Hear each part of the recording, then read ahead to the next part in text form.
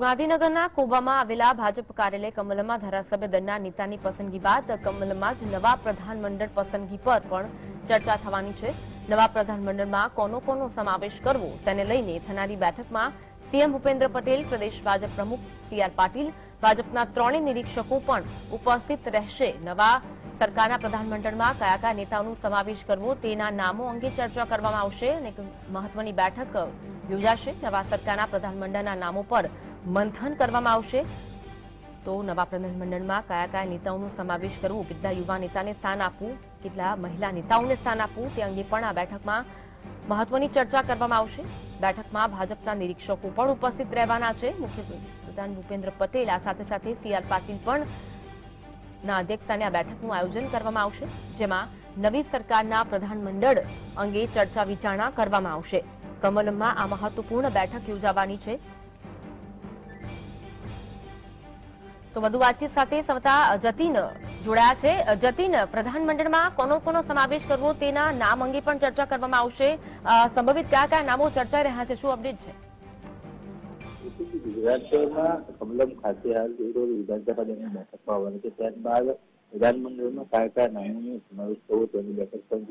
તે મળવાની છે. બેઠકની વાત કરીશું તો સી આર પાટીલની અધ્યક્ષતામાં બેઠકનું આયોજન કરવામાં આવ્યું તેમાં પ્રધાનમંત્રીને કયા કયા નામો ની ચર્ચા કરી તેની પણ ચર્ચા દિવસે કરવામાં આવશે ખાસ કરીને મહત્વની વાત એ રહેશે કે મુખ્યમંત્રી ભૂપેન્દ્ર પટેલ પણ તે બેઠકમાં હાજર રહેશે ગઈકાલે જ આ- આજ રોજ પ્રધાનમંત્રીના નામોની ચર્ચા જે કરવામાં આવશે ત્યારે ગઈકાલે જ આરએસએસ પવન સાથે અ, બેઠક જે છે તે કરવામાં આવી હતી અને ખાસ કરીને પ્રધાનમંત્રીના નામોને આપીઓ મુકાઈ ગયો છે માત્ર ને માત્ર આ પ્રધાનમંત્રી દ્વારા જે બેઠકનું આયોજન કરવામાં આવ્યું છે અને ખાસ કરીને ચર્ચા એ કરવામાં આવી કયા કયા નામો અ, છે તે મૂકવામાં આવે, ખાસ કરીને સૂત્રો તરફથી માહિતી મળી છે, કેટલાક નવા ચહેરાઓ પણ જે છે, તે પ્રધાનમંત્રીમાં સામેલ જોવા મળી શકે જે જતીન જ્ઞાતિ જાતિ હોય વિસ્તાર આધારિત ને કેટલું પ્રાધાન્ય આપવામાં આવશે તે અંગે કોઈ અપડેટ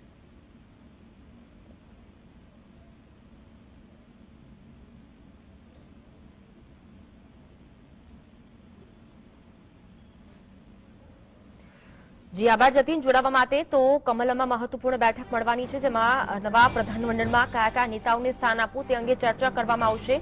તો જ્ઞાતિ જાતિ આધારિત હોય, વિસ્તાર આધારિત કયા કયા નેતાઓને પ્રાધાન્ય આપવું તે અંગે પણ મહત્વપૂર્ણ ચર્ચા કરવામાં આવશે.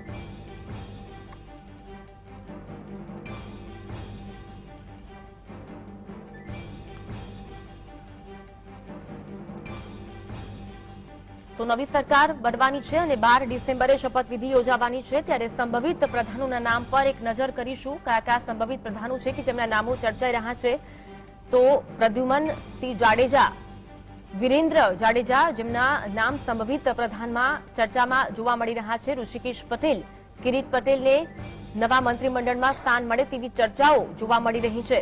આ સંભવિત નામો છે અલ્પેશ ઠાકુર, હાર્દિક પટેલ, યુવા નેતા તરીકે પ્રધાનમંડળમાં તેમને સ્થાન મળે તેવી ચર્ચાઓ જોવા મળી રહી છે. સંભવિત નામોમાં અમિત શાહ છે, અમિત ઠાકર છે, તેમનું નામ પર ચર્ચાઈ રહ્યું છે, જો કે અંતિમ મહોર હાઈકમાન્ડ દ્વારા મારવામાં આવશે.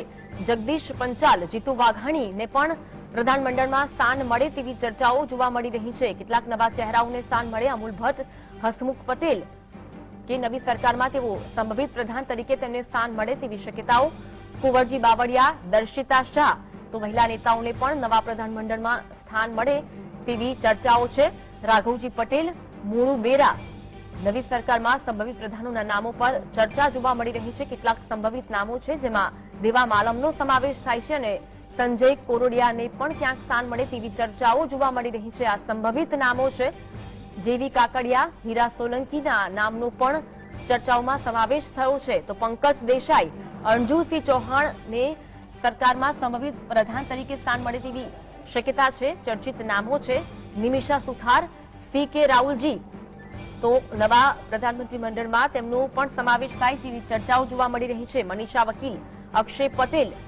તો નવી સરકારની શપથવિધિની કવાત તેજ થઈ છે. ત્યારે મંત્રીમંડળમાં કોનો કોનો સમાવેશ કરવો તેના માટે ચર્ચિત નામમાં મુકેશ પટેલ, ગણપત વસાવાનો પણ સમાવેશ થાય છે. તો દર્શના વસાવા ડી કે સ્વામી, કે જેમને નવા મંત્રીમંડળમાં સ્થાન મળે તેવી ચર્ચાઓ જોવા મળી રહી છે. સંગીતા પાટીલ, વિનુ મોરડિયાના નામ પણ આ ચર્ચાઓમાં સામેલ છે. સંભવિત પ્રધાનો છે જો કે સત્તાવાર તે અંગેની જાહેરાત કરવામાં આવશે. હર્ષ સંઘવીના નામની પણ ચર્ચાઓ જોવા મળી રહી છે. આ તમામ સંભવિત પ્રધાનો છે.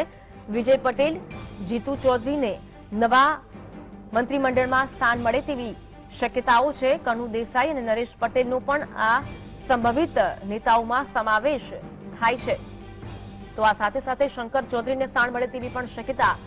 કેશાજી ચૌહાણને પણ નવા મંત્રીમંડળમાં સ્થાન મળે તેવી ચર્ચાઓ છે.